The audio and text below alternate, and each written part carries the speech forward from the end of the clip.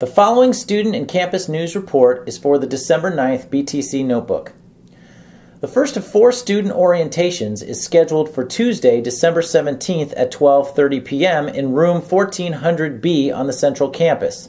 Two other sessions will be held on the Central Campus, Tuesday, January 7th and Saturday, January 11th at 8:30 a.m.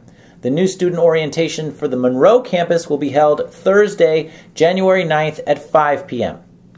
Congratulations are in order to all the BTC students and staff who donated to the annual food drive prior to Thanksgiving.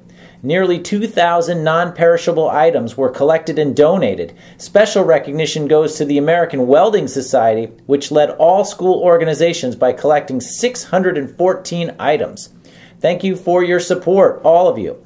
Finally, more information is going to be presented this month about the Affordable Care Act. Please encourage students to attend the information session on the Affordable Care Act, which will be on Thursday, December 12th in room 2616 at the Central Campus.